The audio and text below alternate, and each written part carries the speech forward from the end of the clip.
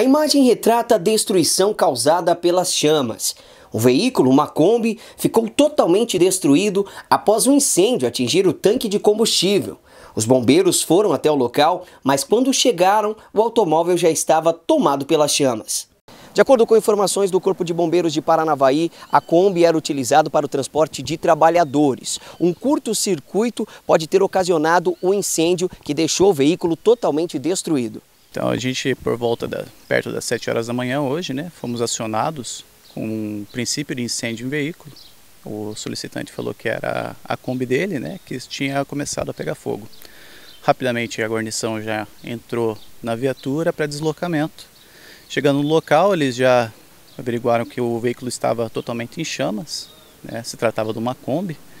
É, acabou também atingindo a parte do, do tanque do, do, do veículo, então começou a pegar fogo.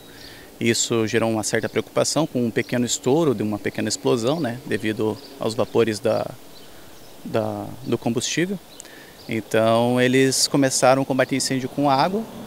E depois que eles conseguiram controlar grande parte do incêndio, eles utilizaram o LGE, que é uma espuma especial para combustíveis inflamáveis. Então, daí conseguiram conter o incêndio no veículo. Segundo o tenente, em caso de fogo no veículo, o Corpo de Bombeiros alerta para que algumas medidas de segurança sejam adotadas para que não haja acidentes. Ah, primeiro é tentar se afastar do veículo o mais rápido possível, né? se for possível acionar os freios né, estacionários para poder evitar que esse veículo saia pegando fogo ah, pela rodovia.